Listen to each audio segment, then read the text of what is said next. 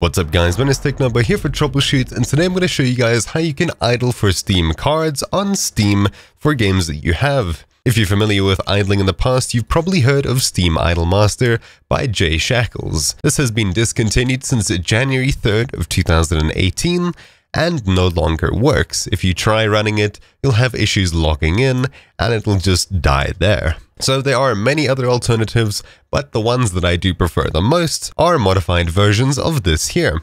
So we have this one here, Jonas Nilson's Idlemaster Extended, which is a fork from the original Jay Shackles Idlemaster.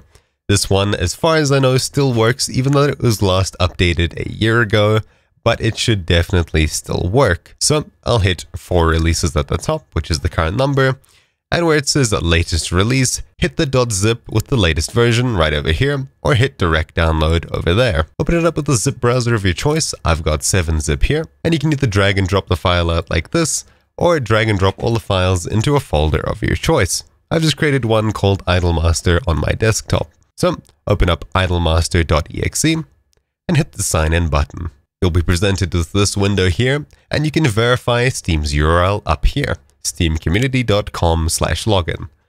So in here, enter your Steam login details and hit sign in. I'm presented with Steam Guard because I haven't logged in with this browser before. You can see that Idlemaster is now saving your information locally. Now, as far as I know, this is completely safe. I've been using it for both my main account and alternative accounts and been recommending it to friends for quite some time.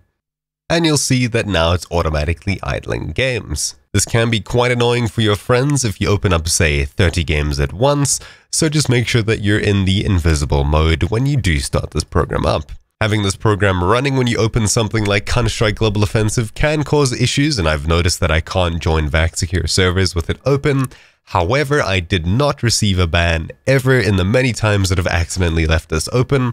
At worst, I've had to close Steam, Counter-Strike, this, and then restart Steam and Counter-Strike. So we can hit File, Settings at the very top, and we can choose what happens here. Um, I'm going to ignore most of these, except for idling behavior. You can change this to whatever you want, or leave it at the preferred fast mode. Under idling order, you can change it to prioritize games with the highest card values, so the most expensive ones, highest number of available drops, and lowest number of available drops. Once you've done that, you can hit accept, and you'll have to restart the program to have all the changes take effect.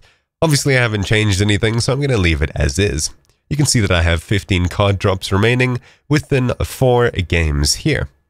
So that's about it. You leave it going overnight or say whenever, and when you get back, you'll notice a new notification on the top of your Steam saying you've received a bunch of items.